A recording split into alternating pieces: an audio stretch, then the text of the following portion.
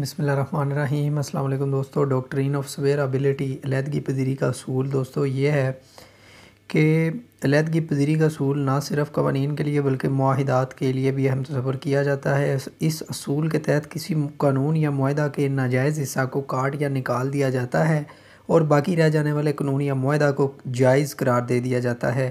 علیحدگی پذیری کے اس اصول کو قانون معاہدہ میں شامل کیا گیا ہے۔ کنٹریکٹ ایکٹ میں اس کو شامل کیا گیا ہے۔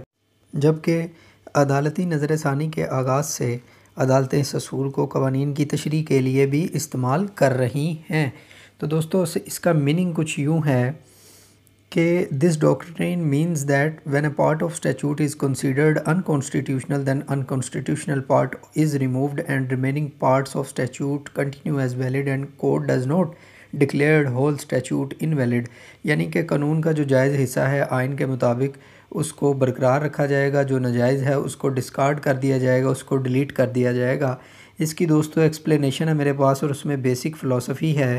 بیسک فلسفی بھی یہی ہے کہ جو ریسٹ آف اسٹیچوٹ ہے وہ ریٹین کی جائے گی اور اسے انفورس رکھا جائے گا بائی ڈسکارٹنگ اور ڈیلیٹنگ اٹس وائڈ پورشن ٹھیک ہے اسٹیچوٹ کا جو وائڈ حصہ ہے اسے ڈیلیٹ کر دیا جائے گا اور جو جائز حصہ ہے اسے انفورس رکھا جائے گا۔ Doctrine of separability and intention of legislature یہ اصول قانون ساز ادارے کی ایک قیاس شدہ نیت پر انحصار کرتا ہے کہ اگر ایک قانون کا ایک حصہ باطل ثابت ہوتا ہے تو اسے باقی رہ جانے والے قانون کی جوازیت کو متاثر نہیں کرنا چاہیے اور کہ ایسے قانون کی شرائط یا اصطلاحات سے نیت کی تحقیق ہو جانی چاہیے۔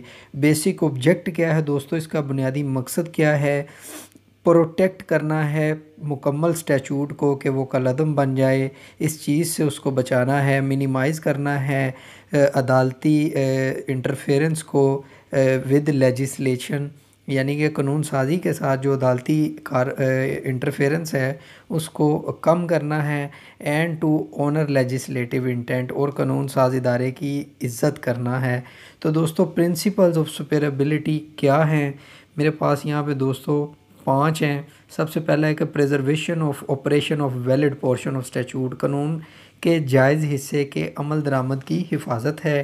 پھر ہے declaring of entire statute void تو تمام قانون کو باطل قرار دینا۔ اگر کسی قانون کا جائز حصہ ناجائز حصے سے اس طرح ملا ہوا ہوتا ہے کہ اسے امیزش شدہ باقی رہ جانے والے حصے کو چھوڑے بغیر علیحدہ نہیں کیا جاتا، تو عدالت تمام قانون کو ناجائز قرار دے سکتی ہے۔ تیسرا ہے کہ کب ناجائز حصے کو علیحدہ نہیں کیا جا سکتا یعنی کہ وین ویلڈ پورشن کی نوٹ بی سویرڈ جب عدالت یہ تعین کرتی ہے کہ کسی قانون کے ایک نجائز قاعدہ کو علیحدہ نہیں کیا جا سکتا، تو تب عدالت کو یہ تعین کرنا چاہیے کہ آیا ایسے قانون کے کسی حصے کو بچایا جا سکتا ہے یا نہیں۔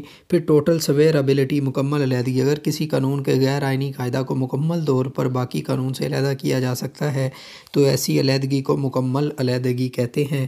پھر دوستو پارشل سویربلٹی ہے جزوی علیحدگی۔ اگر کسی قانون کے متعدد قوانین اس کے ناجائز قاعدے سے اس طرح ملے ہوتے ہیں کہ انہیں علیحدہ نہیں کیا جا سکتا۔ لیکن پھر بھی دیگر قواعد قابل علیحدگی ہوتے ہیں، تو تب دیگر قواعد کی ایسی علیحدگی کو پارشیل سویربلٹی جزوی علیحدگی کہتے ہیں۔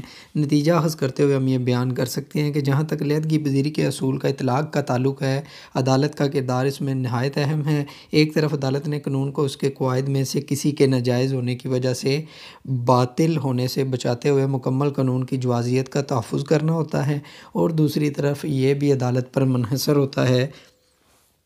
کہ وہ قانون کے منصوبہ یا تجویز پر ناجائز قاعدہ کے اثرات کے متعلق سوال کا فیصلہ کرے اور مکمل قانون کی جوازیت اور اس کے باقی رہ جانے والے قواعد کی جوازیت کے متعلق سوالات کا فیصلہ کرے۔ دوستو، یہ تھا ڈاکٹرین آف سویرابلٹی امید کرتا ہوں آپ کو سمجھ آئی ہوگی۔ اس ویڈیو کو لائک کریں، میرے چینل کو سبسکرائب کر کے بیل آئیکون کو دبا لیں۔ اگلی ویڈیو میں آپ سے ایک نیا ٹاپک ڈسکس کریں گے۔ تب تک کے لیے دوستو، اللہ حافظ۔